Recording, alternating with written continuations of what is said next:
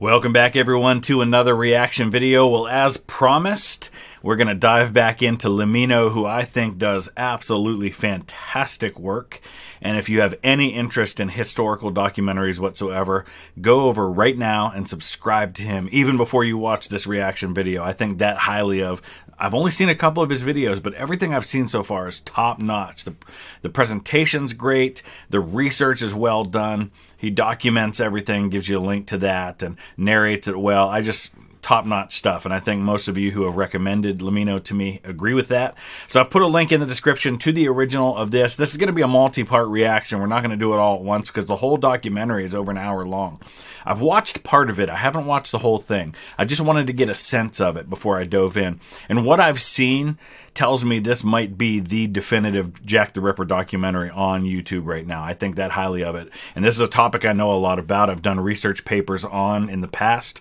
I've got very strong opinions on who I think might be the killer, and I will offer my own uh, theories on that as we get to the end.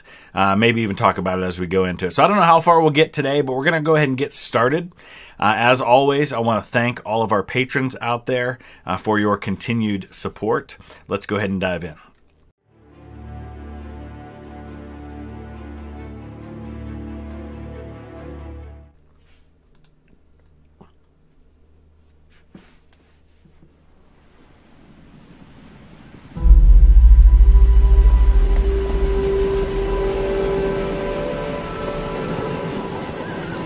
The late 19th century, the city of London was the largest in the world, a sprawling metropolis and a melting pot for trade, finance, and people.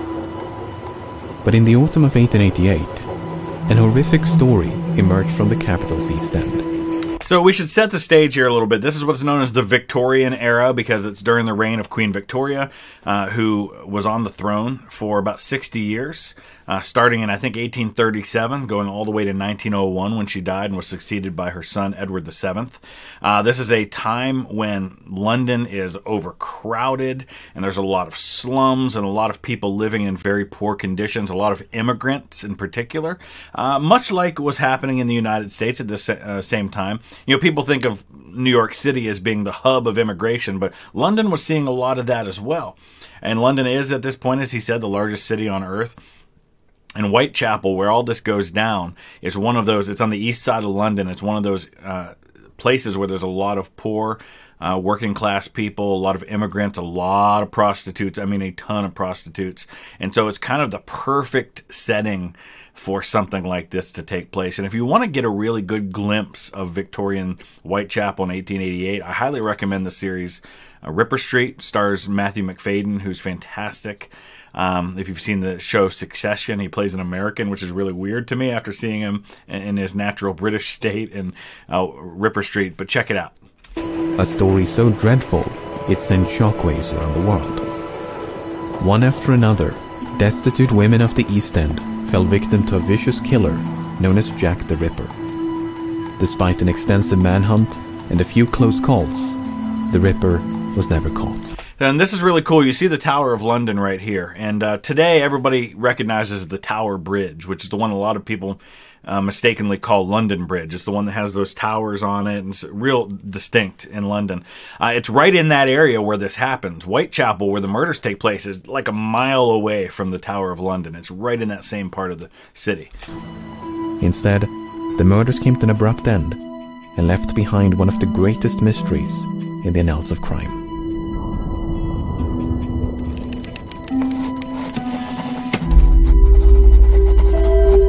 Really cool animation there. They've even got the signature from the original Jack the Ripper letter. In the east end of London, there's a district known as Whitechapel. In the late 19th century, Whitechapel was known for its overcrowded slums, where many of the capital's poor and unemployed had taken refuge. Day and night, an army of policemen would constantly patrol this labyrinthine network of dim-lit streets, courts, and alleys. One such place was a narrow passage known as George Yard. Mm. Near the north entrance of this passage was a residential complex known as George Yard Buildings. It was the morning of August the 7th, 1888, when an upstairs tenant named John Reeves headed out for work. So Upon well reaching done. the first floor landing, Reeves encountered the body of a woman lying upon her back in a pool of blood. Martha Tabram. Horrified by the sight, he stumbled down to the street below in search for help. Now, this first victim, uh, here's the thing you have to understand about Whitechapel. Before the Jack the Ripper murders and after the Jack the Ripper murders, there were murders happening in Whitechapel. This was not, unfortunately, an uncommon thing. And so, while they have what are called the five canonical victims of Jack the Ripper, there's some question about whether or not there were some before, some after. Um, certainly some before. I, I don't think there's any question that no, nothing can really be definitively attributed to him after Mary Jane Kelly because the escalation, you know, kind of stops. But it's certainly possible there were ones before. Ma- Martha is the one that a lot of people look to as being the first one. Constable Thomas Barrett was the first officer on the scene. He was soon joined by Dr. Timothy Killeen, who conducted a brief examination. The woman had been stabbed 39 times, primarily in the chest and abdomen. Dr. Killeen estimated that she had been dead for, quote, about three hours, thus placing the time of death at approximately 2.30 in the morning. It's hard for me to believe in a busy place like this in Whitechapel, where there's people out in all hours of the night, that she lay there for three hours. As you'll see later with the other victims, none of them were there longer than maybe 15 minutes before they were found, sometimes a matter of minutes before they were found. But three hours in a busy place like this, that seems really strange to me. The woman had likely been attacked where she was found, as no blood was found beyond the staircase landing. But this was strange, as none of the tenants in this crowded building had heard a single cry for help Yeah. or a disturbance of any kind. I really feel like she had to have been moved. One exception was Amy Hewitt, a tenant who claimed to have heard a lone cry of murder. But this was early in the evening of August the 6th, and the scream had emanated from outside the complex. Hewitt further explained The district round here is rather rough, and cries of murder are a frequent, if not nightly, occurrence. The Can you victim imagine living in a place where pretty much every night you hear somebody cry murder! I mean come on. But this will happen again with mary jane kelly. People hear the cry of murder uh, right around the time that she's killed. So yeah imagine living in a place where that's a common occurrence like that. Victim was eventually identified as 39-year-old Martha Tabram. Tabram was a mother of two and had separated from her husband many years prior. Now you're going to notice some common themes here with a lot of these victims, whether or not Martha Tabram is one of the Jack the Ripper victims. They're all in their 30s and 40s. Uh, most of them working as prostitutes. There's some question about one of them. Um, a lot of them have families, have ex husbands, have children, but have fallen on hard times and have resorted to prostitution. A lot of them are also alcoholics, and that's part of the reason why they end up on their own. Uh, and just a point of clarification if you ever see this where it says nay like that, that just means maiden name. So her maiden name was White. Her last known address was 19 George Street, a common lodging house less than 300 meters from the site of her death. Tabram had made a living through prostitution, and one of her associates was a woman named Marianne Connolly. Connolly testified that on the evening of August the 6th, she and Tabram had been out drinking with two soldiers. Then, shortly before midnight, the party of four had separated. Connolly took her client into Angel Alley, while Tabram guided hers into neighboring George Yard. It was the last time she saw Tabram alive. A lot of times, these prostitutes couldn't even afford a place to stay, and there were a lot of places in Whitechapel where you could pay, I think it was called doss money. It was basically a nightly rent. You could pay by the night for lodging. And a lot of these were, were common lodging houses where you had multiple people. And so, a lot of times, these prostitutes were going out at one or two in the morning trying to find a couple of Johns so they could earn their money so they could have a place to sleep for the night. And then the next day they'd do it again. They were just kind of living literally day to day. And so they didn't even often have a place to go to do their thing you know? So they'd do it in the middle of the in a dark alley somewhere. And a lot of times um, because they were concerned about pregnancy and things like that they had really kind of perf- this is a little graphic i apologize but they perfected the ability to not actually allow penetration while making the guy feel like that's what he was doing, kind of a thing. Um, just kind of one of the quirks of a lot of what was happening with prostitution at the time. Barely two hours later, Constable Barrett had spoken to a soldier loitering near the north entrance of George Yard. The soldier had told Barrett that he was, quote, waiting for his mate who had gone away with a girl. And Edmund Reid is the character that Matthew Macfadyen plays in Ripper Street. Uh, he was involved somewhat in the Jack the Ripper murders. He was a detective inspector in Whitechapel. Half an hour later, Tabram is presumed to have died. Both Connolly and Barrett were called upon to identify the soldiers, but all those accused could provide an alibi. One had been at home with his wife, another at an army base, and yet another in a completely different part of the city. This was enough for Inspector Edmund Reid, the lead investigator on the case, to abandon this line of inquiry. Connolly and Barrett having both picked out the wrong men, they could not be trusted again as their evidence would be worthless. And then you got nobody, really. Even if a soldier had been responsible, no one could deduce a motive. The people of Whitechapel might have been accustomed to crime and violence, but the sheer brutality of this attack was as frightening as it was confounding. And um, he hasn't really described much of the wounds beyond the 39 stab wounds, but there were other things that were done to her um, sexually that were pretty pretty hor- horrible and pretty abusive. She was she was treated quite shamefully. Uh, if you want to look into the details of it. The crime is one of the most brutal that have occurred for some years. For a poor, defenseless woman to be outraged and stabbed in such a manner is almost beyond belief. These were the concluding remarks delivered at the final inquest held on August the 23rd. Only a week later, things would go from bad to worse. So another thing we should talk about uh, about all this is uh, they would do these inquests, and they would actually be kind of done publicly. Um, it's very unusual. Like uh, for an American audience, we can't really understand how they d- did things. Uh, I don't even know if they do it that way still, but they would actually gather everyone kind of like in a room, uh, almost like a courtroom setting, and they would present the findings to everyone, and and there would be an opportunity for discussion and questions and things like that. And um, so when they talk about these inquests, that that's what they are. They're actually um, almost like a I wouldn't really say a trial, but almost like a almost like a press conference, but not really for the press. You know, it's hard to explain. But if you could just imagine a room full of people gathering to hear the presentation of the findings.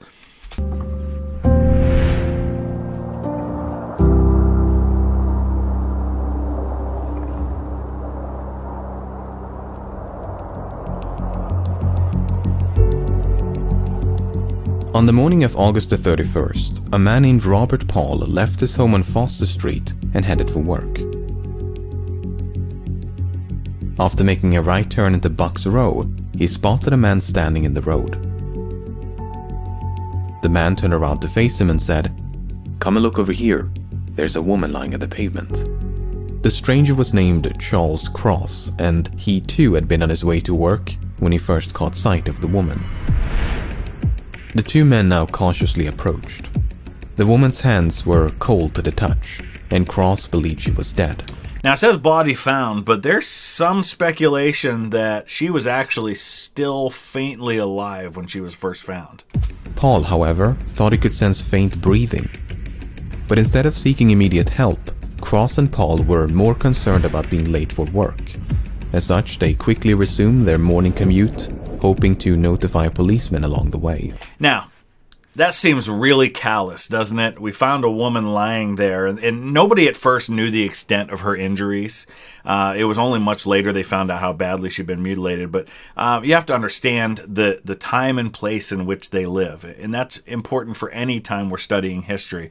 You've got to put yourself in the mindset of the people who were there and what they would have been thinking and what they were experiencing. Uh, this is a place where it was not uncommon to find women lying on the side of the road like this. Uh, this is a place where violence was very regular. This is a place where uh, very poor people are scraping together a living. Uh, and when you have a job and you've got to get to it, and there's a lot of other people who might like to have your job, and you might lose it if you show up even five minutes late. All of that's going on in this. And these guys, they find her, but they, they try to find police and they find somebody pretty quickly. So. Fortunately, Constable John Neal was just around the corner. Neal was equipped with a lantern and found the woman lying on her back with a deep cut across the throat. The wound was still bleeding and parts of her body were still warm. He was soon joined by Constable John Thain, who was sent at once to fetch a nearby doctor. Upon his arrival, shortly after 4 o'clock, Dr. Rees Llewellyn estimated that, quote, she had not been dead more than half an hour. In other words, Cross and Paul had likely found the woman mere minutes after Yep. she was killed. Furthermore, three officers had patrolled the vicinity just a few minutes prior. Constable Neal had last inspected Bucks Row at approximately 3.15. So too had Sergeant Henry Kirby, whereas Constable Thain had merely passed the end of the street. And this is going to become an important theme with all of these murders, and that's why we know so closely the time that these women were murdered and how quickly this must have happened, which is one of the really strange things about it. Uh, because you have all of these police constables that have these. Uh, these routes that they walk regularly, they know pr- almost to the minute when they were at different places, if they were actually on their route as they should be. Uh, and though it's really dark and you don't have streetlights everywhere, very few places in the the city of London, and and these are actually going to take place in Whitechapel, which is it, it's semantics, but only one of the murders actually takes place within the city limits of of London. The others are in like suburbs or you know of other areas like Whitechapel, and um, so you know there's very few places that don't have regular police coverage during all of this. none of whom had seen nor heard anything amiss. Upon the body's removal to the mortuary, a shocking discovery was made. Apart from two incisions in the throat, the woman had also been, quote, disemboweled. No organs had been removed, but Dr. Llewellyn found, quote, several incisions running across the abdomen. He also believed that the killer possessed, quote, some rough anatomical knowledge, for he seemed to have attacked all the vital parts. And this is one of the ongoing disagreements that different people will have about these murders is how much anatomical knowledge did the killer have? Some people say, ah, I didn't take any knowledge at all. Others will argue he had to have some knowledge because he seemed like he knew his way around. And then when you add the factor of how little time he had to do these uh, disembowelings, and sometimes he takes organs, you have to wonder if he didn't at least know something. And that leads people to say he was a doctor or he was at least a butcher of some kind, things like that. Um, a butcher like pigs, for example, pigs' anatomy is very similar to human anatomy, so you could see how that could possibly help someone. Uh, it, it is fascinating, though, that in this case, they didn't know she had been disemboweled until they got her back to uh, the examination. They didn't know at the site. The victim was quickly identified. Her name was Mary Ann Nichols, and she had turned 43 just five days before the murder. And so you see, once again, we're talking late 30s, early 40s, um, ex husband, six children. Uh, I think alcoholism is involved here. She, you know, her youngest kid was eight at this point, or was 10 at this point. She's got kids who live in the 1960s. Imagine that. In the 1960s, we had children of a Jack the Ripper uh, murder um, victim that still lived. And I'm, I'm curious to know if any of them were ever like interviewed or any talked publicly about this stuff. That'd be kind of fascinating to know. Nichols had at least six children, and her last known address was a common lodging house at 56 Flower and Dean Street. On the night of her death, Nichols had been turned away from a lodging house on Thrawl Street as she lacked the funds to Doss pay for money. a bed. Seeking to raise the money through prostitution, Nichols had then ventured down Osborn Street before meeting her friend, Ellen Holland. The two of them shared a brief exchange, but Nichols was visibly drunk. When they parted ways around half past two, Holland saw Nichols staggering eastward along Whitechapel Road. So, one of the things that becomes a theme here with these victims is the alcoholism, which makes them a little easier target, you know, because they probably got liquored up before they went out turning tricks. Um, they, they all seem, except for mm, uh, Mary Jane Kelly, the last victim, they're all a little older, which w- was pretty common for the prostitutes in Whitechapel. Um, they all are also pretty desperate for money. Uh, and I think in most cases he strangles them first, which is why you don't have um, people screaming. You also, if he strangled them to death and killed them before he cut them, That explains why there's no arterial spray, which means the killer can walk away without having blood all over him. Uh, these are all things that kind of play into this investigation. Barely an hour later, she was found dead. Apart from the body itself, the killer had left nothing in their wake. No blood trail, no murder weapon, no witnesses. Inspector Joseph Helson, the lead investigator on the case, stated that, quote, Not an atom of evidence can be obtained to connect any person with the crime. While the Nichols case ground to a screeching halt, its similarities with the Martha Tabram case had not gone unnoticed. In both cases, the attack had been needlessly ferocious, and there was no discernible motive. Both victims were prostitutes of roughly the same age and moved in the same circles.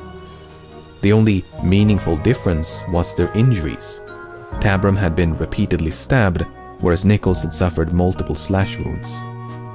There's a lot of disagreement on whether or not they were connected. Um, you can make the argument, if you understand how serial killers work, that uh, there's an escalation, there's an experimenting, so to speak. A lot of times, serial killers, the investigators will end up finding out that there were previous victims that they didn't know about because they don't fit an MO that eventually develops. Because serial killers kind of eventually develop their their style, so to speak. Um, and so the early killings are sometimes different than the later ones because they're figuring out what works and what doesn't. They're escalating to a degree. Uh, so I can see both sides of the argument about Martha Tabram. The only thing that makes me wonder is, you know, 39 stab wounds and some other abuses, and then going to slitting the throat and disemboweling doesn't seem like a connected escalation. I could I would expect maybe a couple of stab wounds and then that, but what happened the first time seems much more personal. So my personal feeling is that they are not connected, but I can accept the possibility that they are. Differences aside, the prevailing assumption was that the same deranged individual had committed both murders. A conviction that would only grow stronger in the days that followed.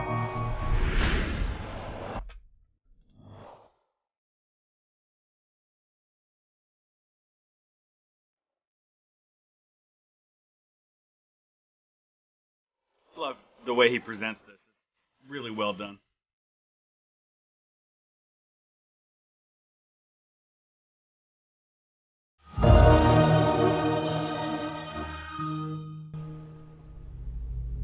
Annie Chapman. As the sun was rising on September the 8th, a man named John Richardson was on his way to work. At a quarter to five, he made a quick stop at 29 Hanbury Street he went through the entrance and out the back door by way of a cramped hallway. Richardson then sat down on the backyard steps before grabbing a knife to trim a vexing piece of leather from his boot.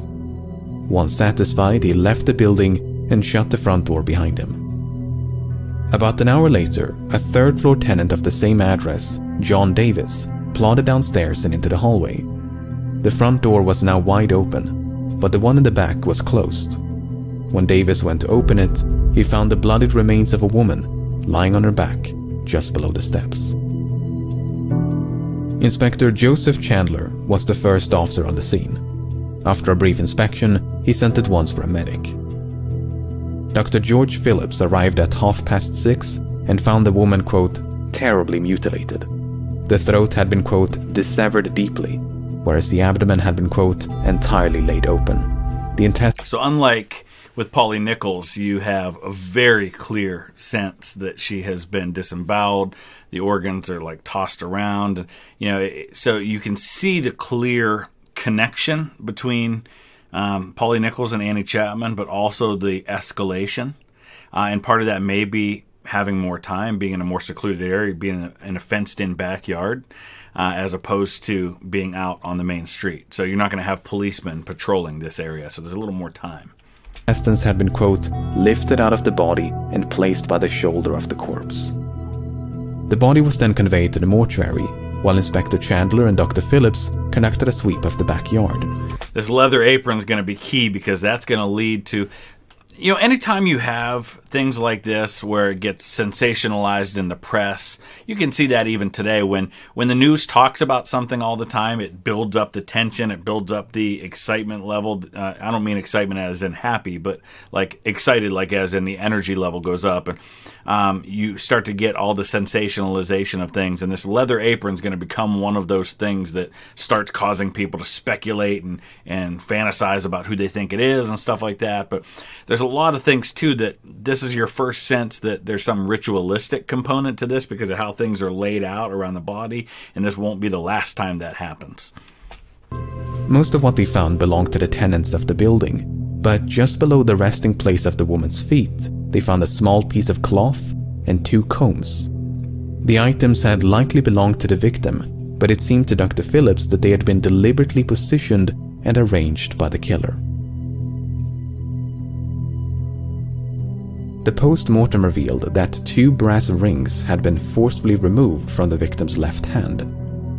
These rings were nowhere to be found. Portions of the victim's abdomen had also gone missing, including the womb. Dr. Phillips believed that, quote, the mode in which these portions were extracted showed some anatomical knowledge. Now, keep in mind that says some. That doesn't mean you're a doctor or trained. It just means some anatomical knowledge. A butcher would have this. Other people of other backgrounds could have this kind of knowledge as well. This point was greatly expanded upon at the subsequent inquest. The injuries had been made by someone who had considerable anatomical skill. This one says knowledge. considerable. There were no meaningless cuts. For instance, no mere slaughterer of animals could have carried out these operations.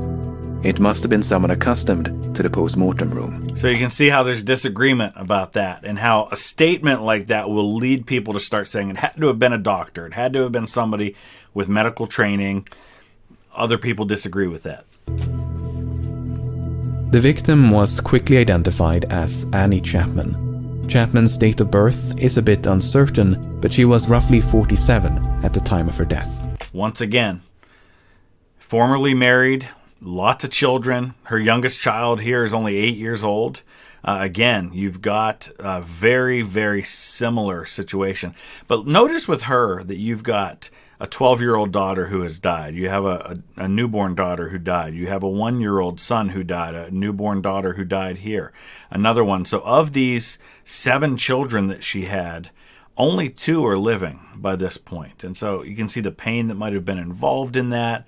Um, so, very, very similar uh, to Polly Nichols and Martha Tabram in terms of background. She had at least seven children, but was tragically only survived by two. Her last known address was a common lodging house at 35 Dorset Street. Another common lodging house. On the night of her death, Chapman had been denied accommodations as she lacked the funds to pay Didn't for have the bed. doss money again. She was escorted off the premises by the night watchman, who then saw her vanish into a nearby alleyway. So many parallels. What happened to Chapman over the next few hours, nobody knows. Her whereabouts during this time is a complete mystery. But unlike the two previous cases, a witness in the Chapman case might have caught a glimpse of the killer. At half past five on the morning of September the 8th, a woman named Elizabeth Long spotted a man and a woman conversing outside 29 Hanbury Street. Long was positive that the woman she'd seen was Annie Chapman, but the man had stood with his back towards Long, so she never saw his face. Long did, however, manage to overhear a fragment of their conversation. The man had posed the question, Will you? To which the woman responded, Yes. You have to say, um, it, the lack of catching the killer is not because they didn't do a thorough investigation. We've got a ton of documentation. There were many, many witnesses that were uh, questioned. Their detailed records of the body and things like that. Now, there are some things that are going to come down the road uh, in the third and fourth murders that were botched beyond belief when it comes to the police. In particular, some handwriting that may have been in, uh, belonged to the killer. But at least at this point, they've done a really good job of doing the detective work on the ground for 1888. Now, a lasting point of contention in the Chapman case is the time of death.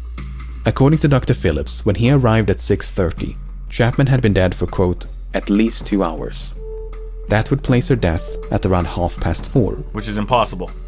But according to Long, she saw Chapman alive a full hour later. Then there's the testimony of John Richardson. Richardson was the son of one of the tenants in the building.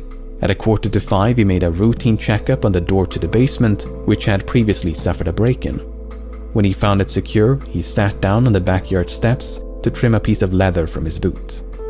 Even though he sat mere centimeters from the murder site, Richardson did not see a body. And he would have. And and I think there's also someone who's in the next yard over who hears like a thud up against the wall, which was probably the killer attacking her, uh, which comes later.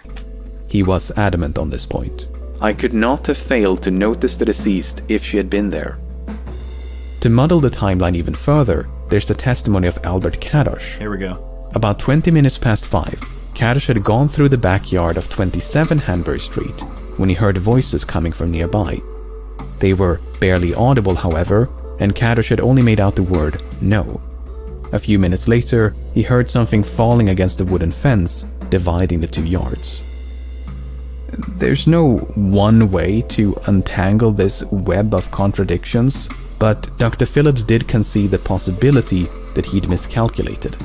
That quote, the coldness of the morning and the great loss of blood Yeah. had skewed his opinion, which was Yeah, the, the, the stuff, the medical science stuff, especially in 1888, it's all very like up in the air and it's an estimate. So you have to go with the eyewitnesses here. You've got to assume that 5:30, you know, people are going to remember things. Eyewitnesses are very unreliable. Um, in fact, if they're very detailed, usually it's because they're wrong or they're deliberately lying. Um, so you have to kind of go with the pre- preponderance of evidence. I think it's fair to say that 5:30-ish is probably when she is killed. She's witnessed probably minutes before she's killed when she's talking to the killer. And know, you, you got to assume that the eyewitness saw the actual killer. You got to assume that the guy who heard this around 5:20, it's probably right in that area. was largely based on the warmth of the body. So, presuming that Dr. Phillips did miscalculate and the recollections of Long and Cadosch were off by a few minutes, Yeah. that would place Chapman's death at around 5:30 in the morning. By this point, the dim light of dawn would have provided the tenants of 29 Hanbury Street an unobstructed view of the murder site, some of whom had even slept with their windows open.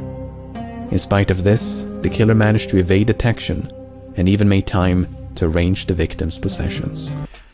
And he had that privacy to be able to do that unlike out on the street where there would have been police patrols. It does make me wonder how they ended up there. Uh, she obviously had to have gone with him willingly to that backyard. Maybe they just thought it was a, a place they could go uh, where there'd be a little bit of privacy to be able to do their thing and then be done. Um, but it seems strange they would go to the backyard of a, of a private uh, building like that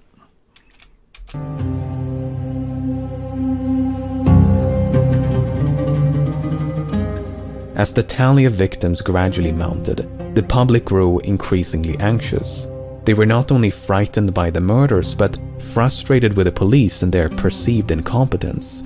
Even across the pond were the efforts of the police fiercely criticized. The London police and detective force is probably the stupidest in the world.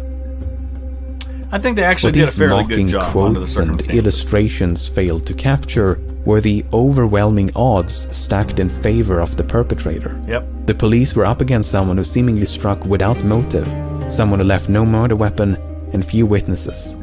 On top of that, the East End was severely overcrowded, while the police were understaffed. As one newspaper put it, a man in the East End of London is a grain of sand, mm-hmm. as invisible and almost as much beyond identification amid the masses. At no point would this become more apparent than during the events of September the 30th. the double event. All right, we're going to stop right there. We'll get into the double event as it's known next time. Uh, we'll come back tomorrow with that next episode. Uh, we've gotten through a few of the chapters so far. Looks like uh, we've got a good start to all of this. My plans when I do get to London, hopefully sometime in 2022. Uh, not only going to visit the graves, the, the remaining known graves of the victims, uh, but also we're going to take a Jack the Ripper tour and tour the sites. Although several of the murder sites look nothing like they did in 1888, but it'll still be fun to do that, and I will definitely record all of that for you guys. Let me know your thoughts. Use a comment section below. Definitely check out Lemmino, one of the best YouTube channels out there if you're into history. Uh, we'll see you again tomorrow with the next episode. Thanks for watching.